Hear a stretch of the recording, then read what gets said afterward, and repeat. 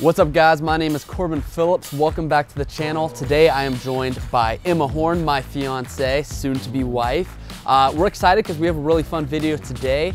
I'm gonna be playing at my league round. Uh, RPM Ninjas putting it on at South Fork Landing in North Bend. Uh, but Emma is gonna be picking every disc that I throw during the round. Yeah, we'll see how it goes. I don't normally play disc golf, but I'm just gonna look in the bag and choose whatever color I am feeling. So it should be interesting. It should be a fun round. Definitely gonna have to get creative with the shots that I throw, uh, but we'll see how it goes.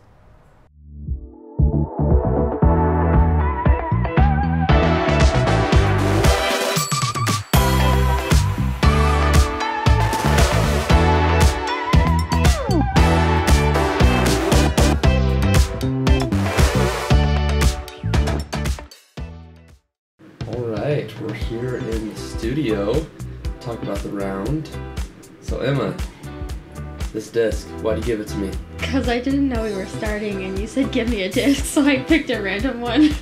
Nice. and it's pink! it is pink.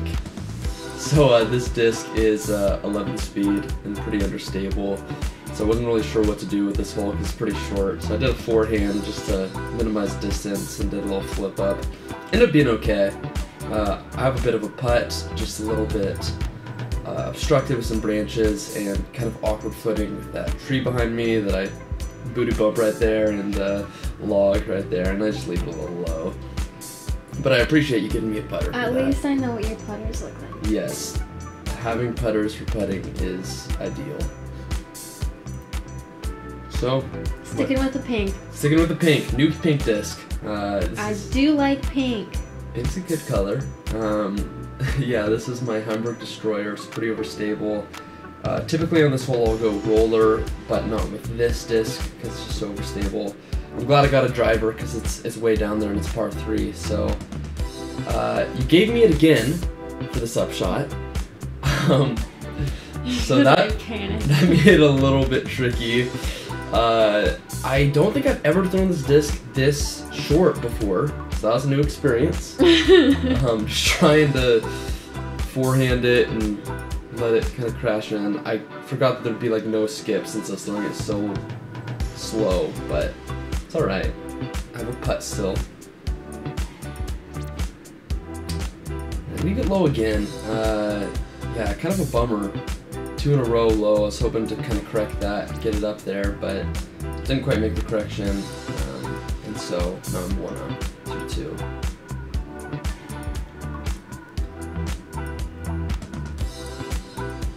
So hole three, The ESP nuke. the ESP nuke. It's a classic. Gotta love the memes. Doesn't matter the distance. ESP nuke will always work. Uh, I will be honest though, this is a little bit short for the ESP nuke, so uh, I uh, just kind of struggled off the tee trying to throw it too light, and then I ended up really far right just because the overstability really kicked in. Um, yeah, drivers off the tee every single time so far, so I mean, Go me! it's not bad. Um, Not in the best spot. Yeah. yeah, so I'm, I'm kind of pinched off because I went too far right and too far forward. So really just a pitch up here. Just trying to give myself an easy putt to save par.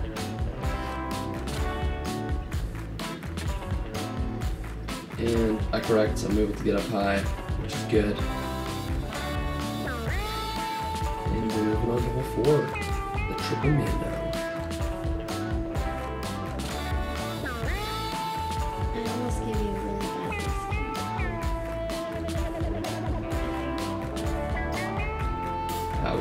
Good. That's a driver. Also a driver. That's my Nuke OS, so that would be really bad. And she was thinking about that one for a little bit. Um, that'd be that'd be a tough one because this hole's like 240, triple Mando straight. So, but yeah, the Malta works just fine. Um, it's mid range. Usually I'll go with a throwing putter just because it's pretty short here. So I was trying to dial down the power a little bit.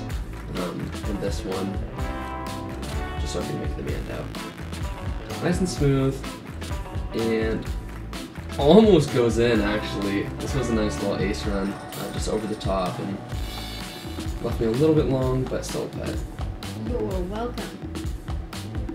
I don't really have a method to what I give you. I just look at them and I'm like, hmm, why not? I mean, ooh. Yeah, so putting's not going great today, that's alright. Yeah, I mean, have some, some pretty looking discs in the bag, so if you want to choose a pretty disc, that's, that's fine. Yeah, this is a pretty long hole, so I'm glad you stayed with your, uh, your strategy of going drivers off the tee, um,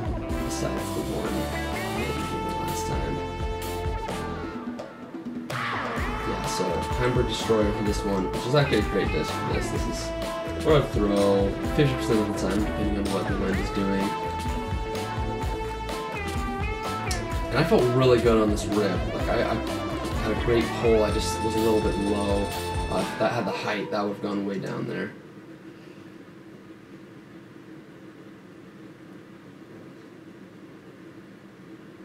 I thought you could putt from here.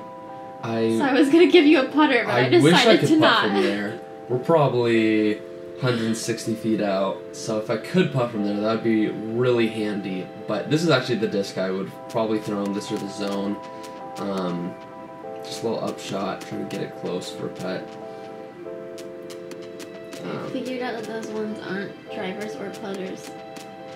nope, they're just kind of a, a weird putter that you throw. Was Oh. Oh, whoa. That's, oh, yeah, yeah, you're giving me the putter, gotcha.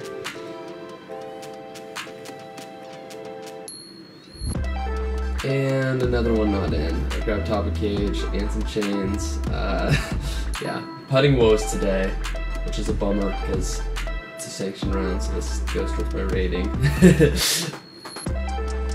yep, I cannot putt today.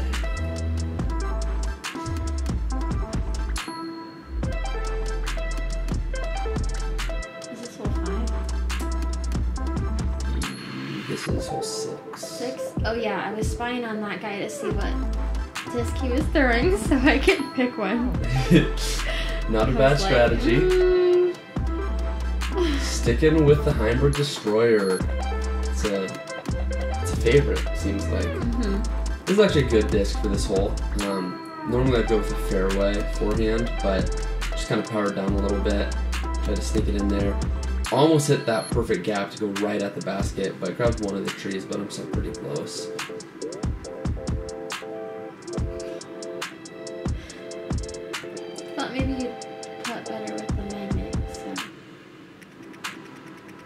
The my other putter, the Jawbreaker Magnet's a little bit beat up, um, and so I'll, I normally putt with the this yellow magnet.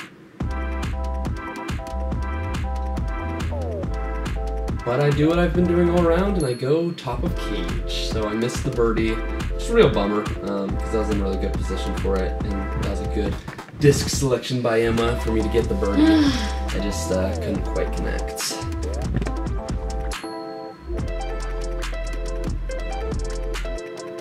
I have no idea what disc that is. It's blue and thin. Yeah, that's a driver, um, which is good for this hole. It's pretty far. Normally I'd go fairway, but driver works. It's just uh, a little bit understable, which made it kind of tricky because this hole goes really far left. So I just threw it lighter and on a hyzer flip, which kind of limited the skip. Did that work? I don't But really know. I'm in a decent spot.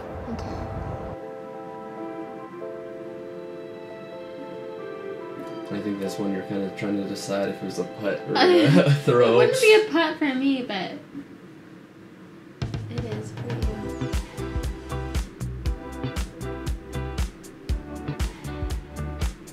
Uh, and I give it a pretty good bid, uh, just slightly left of the chains, but Russ on the hill, easy three. And now we're on hole eight, almost at that nine hole. And we're going with the ESP Nuke again. Talk to the ESP. Yep, it's a classic. Um, yeah, I tried to throw this one really light on hyzer, and it just flipped up and just went super straight past the basket a little bit. Uh, the wind was being a little crazy out there, so that's part of it. But yeah, normally I'd go with a really overstable fairway on this hole, just power it. When in doubt, I just give him the ESP nuke, but I really shouldn't stop doing that. I just think it's funny. You know, it is kind of funny, Emma. This one am I too strict? I thought it was gonna be way worse, and then you were actually in a decent spot. Yep, off the tee it looked worse, but from the lie, it's not terrible, just a little bit far out. Uh, I believe I was 40 feet, 45 feet out for this. But I'm able to put it in, which is uh, exciting. Got the first birdie Nice. on the round, uh, which is helpful for my score. I did that. Give you that putter, so you're welcome. The yellow one. You said you would make it, so I'd make it. Mm-hmm. All right, we're on the last hole of uh, part one, hole nine. So just trying to finish it out.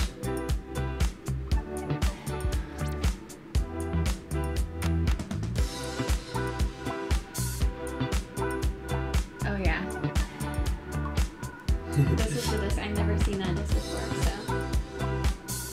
so. Yep, beefy fairway. Uh, this is actually what I normally throw on this hole, so great selection, Emma.